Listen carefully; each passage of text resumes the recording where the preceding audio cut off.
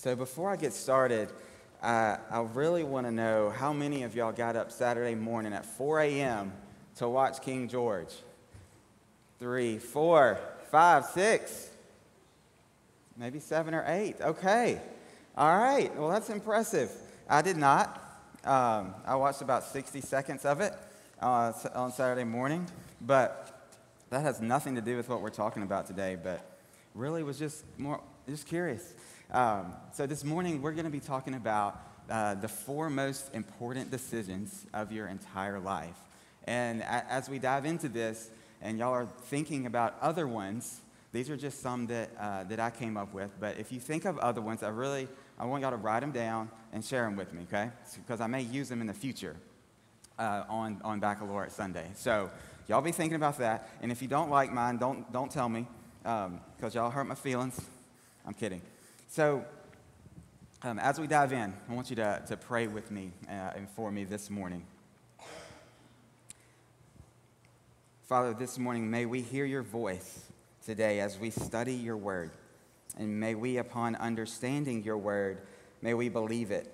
And in believing it, may we obey it. And in obedience, may we be scattered from this place in the days that lie ahead of us to make much of Christ.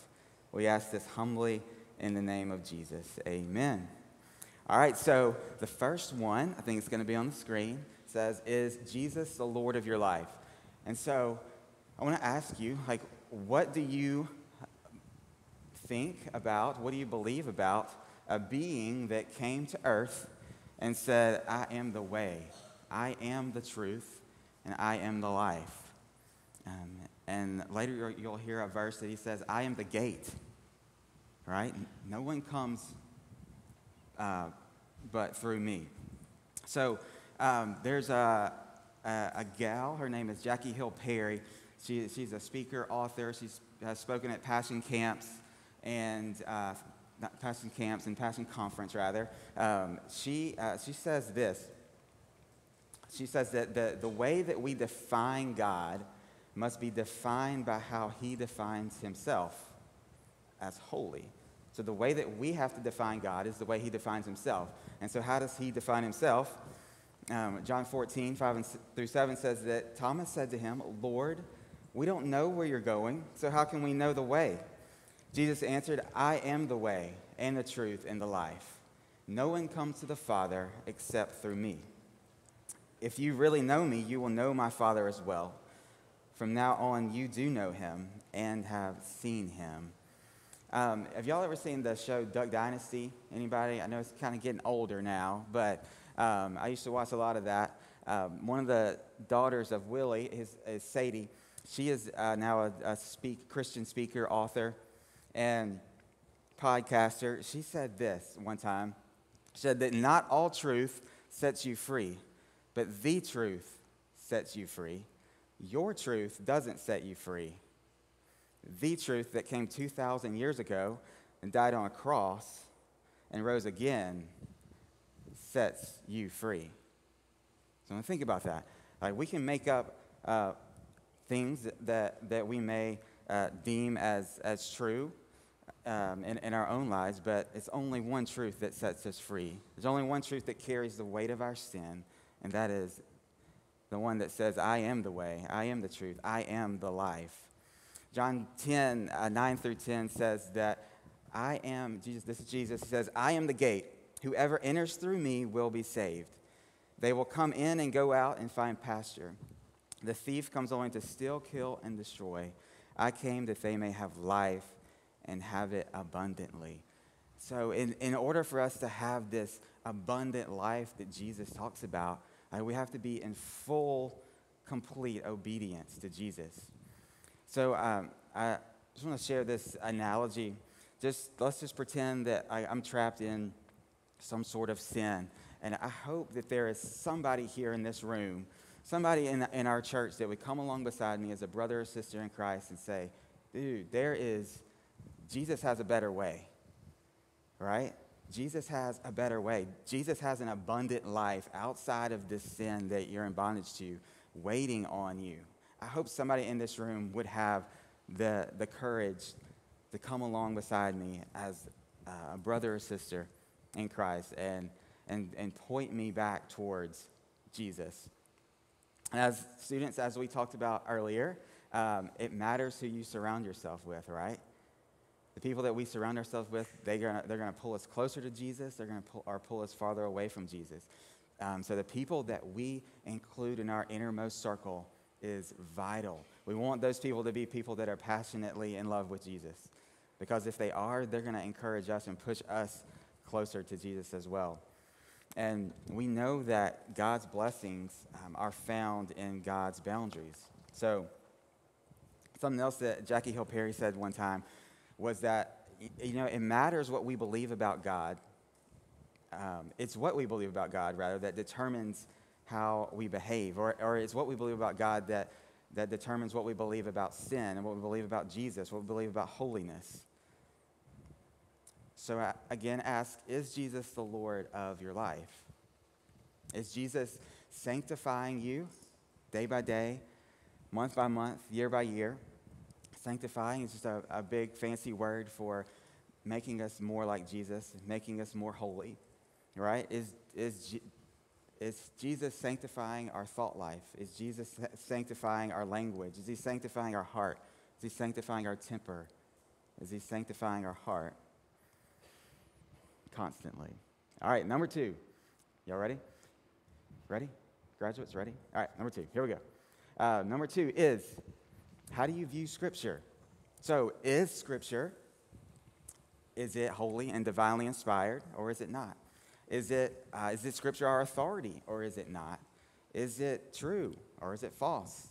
Um, can I be only obedient to parts of it? Can I pick and choose the stuff out of it that I like and the stuff I don't like? Just don't worry about it.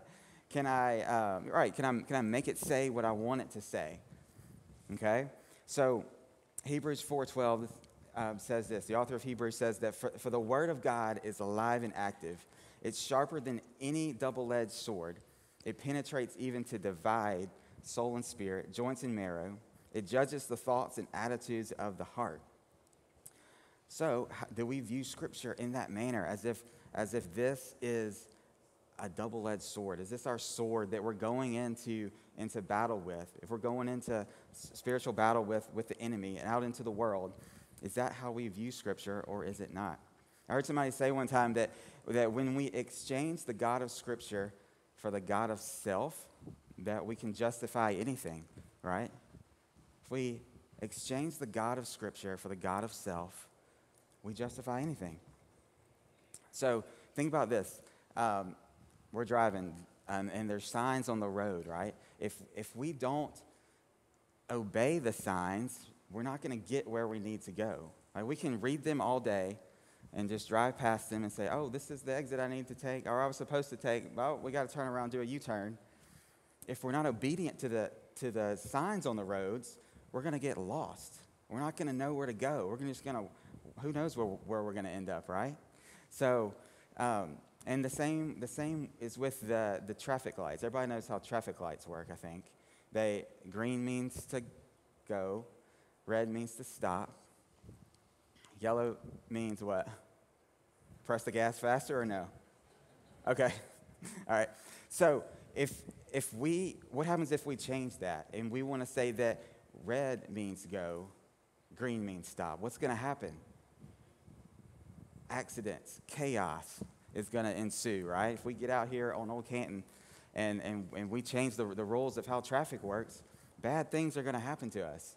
So when we um, when we want to change what God has, has divinely given to us, um, bad things are going to happen. Um, so, how do we view Scripture? Uh, John Ed Mathison, Mathison is, a, is a pastor, retired United Methodist pastor that, that I admire. And he said one time that, that God's word gives us boundaries and he doesn't make mistakes. God's word gives us boundaries and he doesn't make mistakes, right? Um, I love that. Another uh, guy that I really admire is Dr. Bill Ury, that was at Wesley Biblical for many years, and, and he gave the definition of what a commandment is, one of God's commandments. What, what does that mean? He said that a commandment is a picture of who God is and a promise of what we can become. right? A commandment is a picture of who God is. This is who He is, and a promise of what we can become. And so I wanted to talk a little bit about this, like how we physically treat Scripture matters, right? So um, it, it, matters, it, it tells us how, how respectful we are of it or how not respectful we are of it. And uh, there's a, at my former church that I was at, there's a senior adult Sunday school, and there was a, a guy in that class, a retired United Methodist pastor named Brother Johnny Dinas.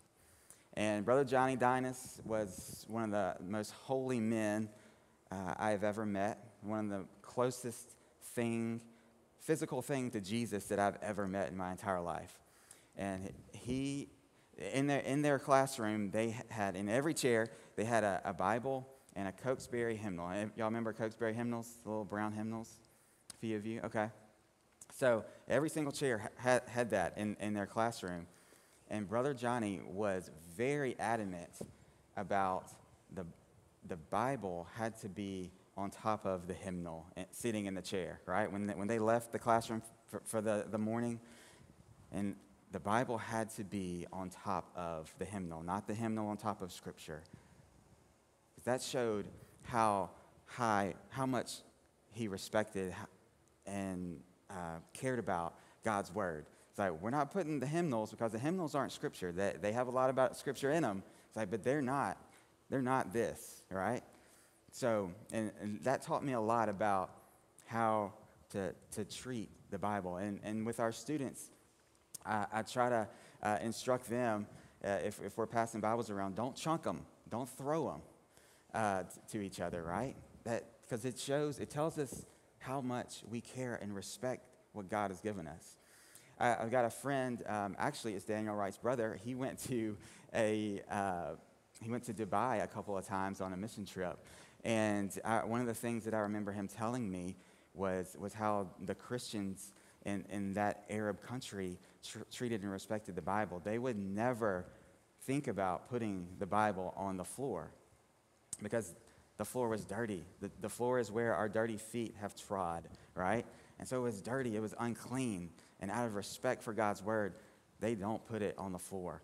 And uh, they, they would put it on a table, they would put it on their bed, put it on a pillow, something, but it never goes on the floor. And so, what is our view of Scripture?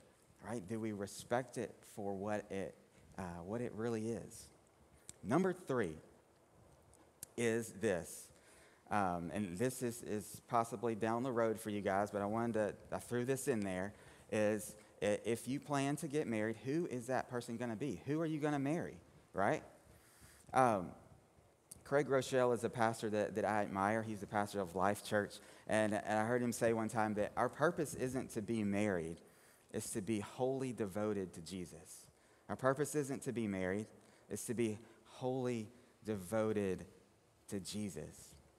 Ephesians 5 is a very popular verse, or scriptures on marriage, and it says this.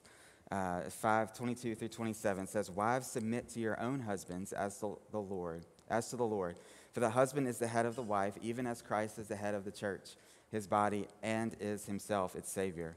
Now, as the church submits to Christ, so also wives should submit in everything to their husbands. Husbands, love your wives as Christ loved the church and gave himself up for her, that he might sanctify her, having cleansed her by the washing of water with the word, so that he might present the church to himself in splendor, without spot or wrinkle or any such thing, that she might be holy and without blemish. So, girls, I'm talking to you, and also Daniel, I'm talking to you too. But girls, y'all look for a guy that is going to love you like Christ loves the church. That's the guy you want. If he doesn't do that, he's not the one, okay? Deal? Deal. Okay, good. All right. Um, and look for a guy that's going to be the spiritual leader of your family, okay? And the spiritual leader of you as well. That's the one, okay? Um, so, Daniel, I'm talking to you.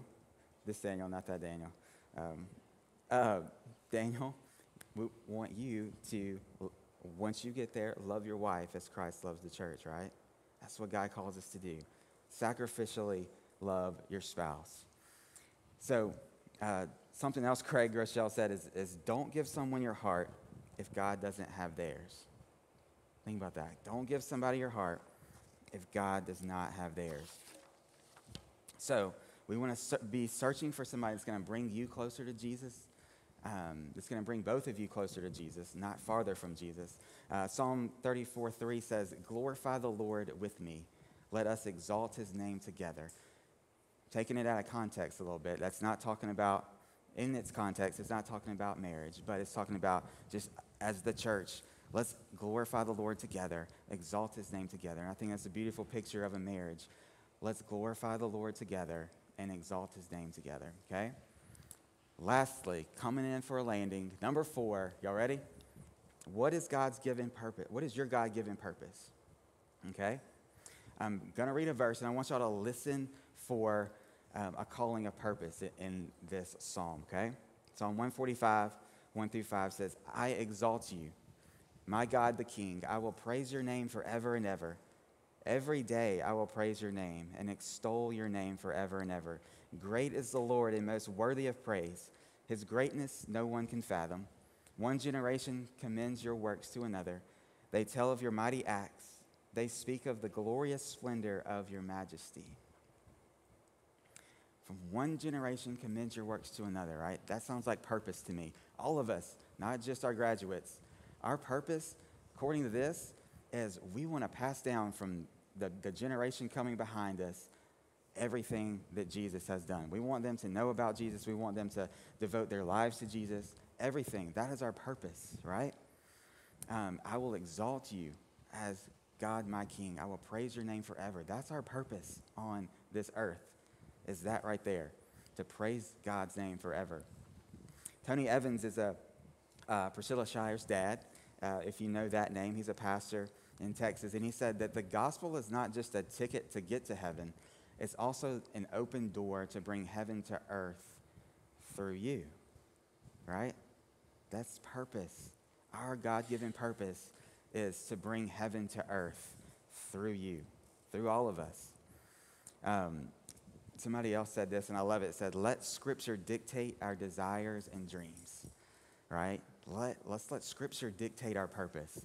Let Scripture dictate my desires and my dreams, not the world, not TikTok, not Instagram, not Facebook. I don't want that dictating my desires and dreams. I want Scripture to be dictating my desires and dreams.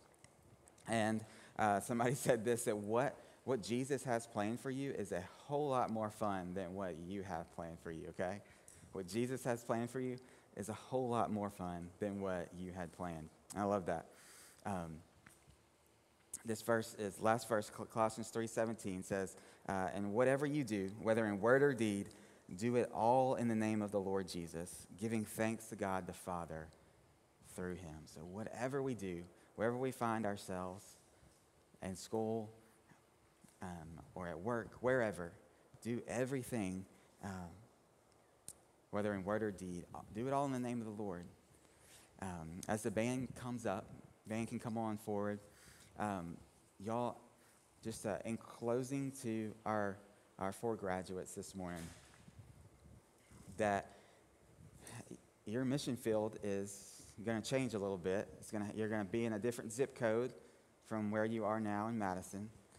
So your, your mission field is going to change to that new zip code. Okay? So your, your school's campus, your uh, sorority, your fraternity, your apartment, your dorm room, whatever that looks like for you, your classroom, that is going to become your new mission field, okay? And so we want our church, St. Matthew's, we want you guys to know Jesus and to make him known wherever it is that you go.